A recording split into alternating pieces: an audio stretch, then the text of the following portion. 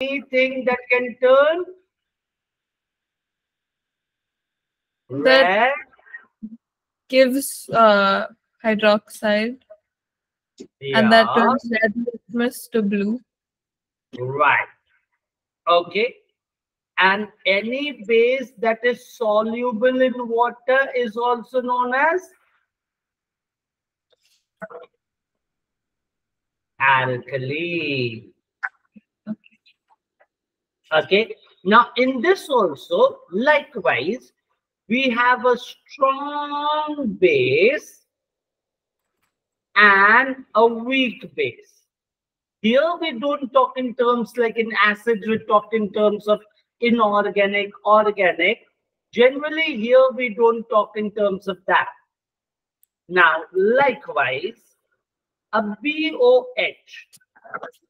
Okay, I'm giving you a simple one. First, the general reaction.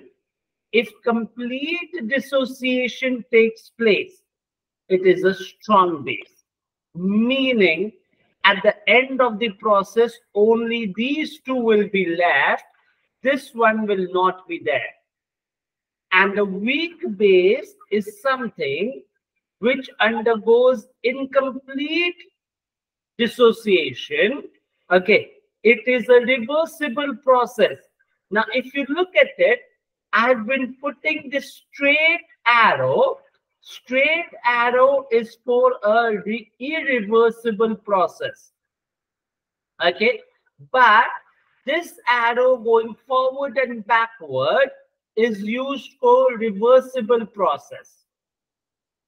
So in this case, there is incomplete dissociation, meaning BOH will also be present in the solution, B positive will also be present, and OH negative will also be present.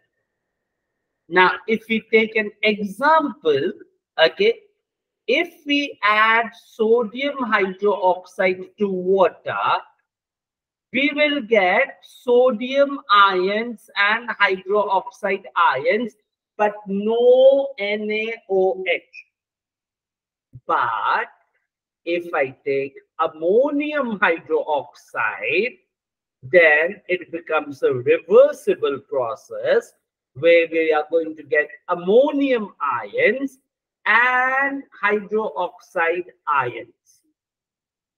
Okay? So this becomes a weak base. So this is the basic classification of bases. Okay? Any doubt? Ah, That's good. Okay. Now,